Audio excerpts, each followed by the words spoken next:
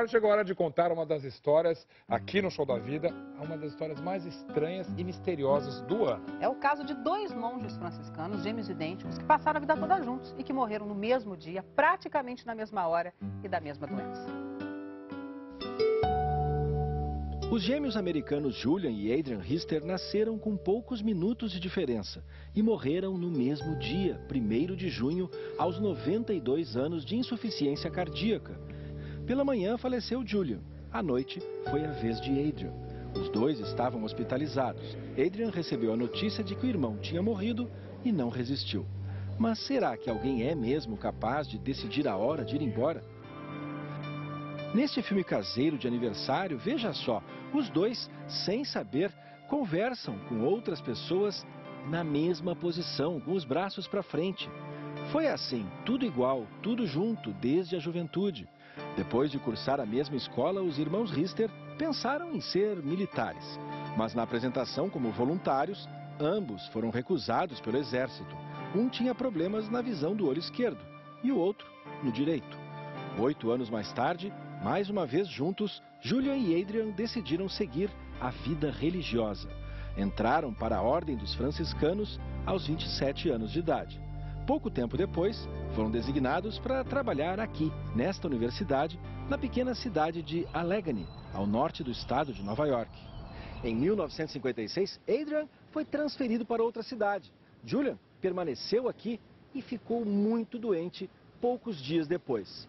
Ele visitou vários médicos, tomou remédios, fez tratamentos, mas só ficou bom mesmo quando os franciscanos perceberam que os dois tinham que ficar juntos. Eles trouxeram Adrian de volta, Julian se recuperou e seguiram trabalhando lado a lado até o fim da vida. No funeral dos irmãos inseparáveis, parentes e amigos estavam tristes, mas confortados. O primo Brian diz que durante toda a vida, Adrian e Julian foram as pessoas mais honradas que ele já conheceu. E brincou, dizendo que, quem sabe, o Papa deveria até transformar os dois em santos. Pergunto à diretora da universidade onde eles trabalhavam se ela acredita de verdade que poderia mesmo existir uma ligação inexplicável entre Adrian e Julian. Ela acha que em certas vidas existe mesmo uma forte conexão entre as pessoas e diz que no caso dos irmãos Richter, ela foi muito mais profunda por causa do amor dos dois a Deus.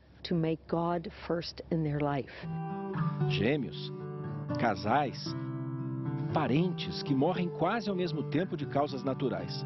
O que poderia estar por trás dessa ligação tão forte? Como a do poeta Carlos Drummond de Andrade, que morreu apenas duas semanas depois da filha, a escritora Maria Julieta, em 1987. Um estudo feito na Universidade de St. Andrews, na Escócia, mostra que o risco de morrer para quem fica viúvo aumenta em até 40% nos primeiros seis meses depois da perda do companheiro. Esse psiquiatra acha que, pelo menos no caso dos frades americanos, a resposta pode estar no código genético.